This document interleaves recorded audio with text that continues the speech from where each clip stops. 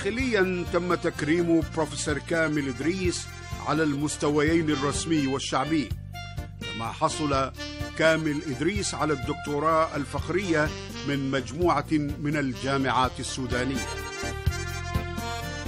أهلك في بيت المال خدتوك في الأحداق شالت غناك عزة زحمة فرح. خارجيا تم تكريم بروفيسور كامل إدريس من قبل عدد كبير من رؤساء دول العالم كما منحته أكثر من ثلاثين جامعة إقليمية وعالمية درجة الدكتوراه الفخرية. مركز فرانكلين بيرس القانوني الولايات المتحدة كامل إدريس.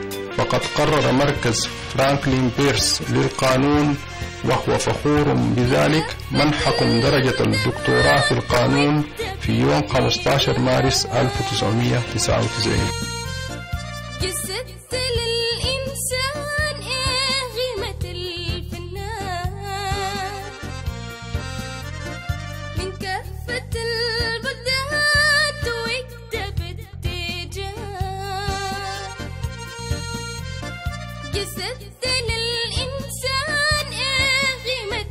الفنان يا الفرسان في أصعب الأزمان. نديك أنا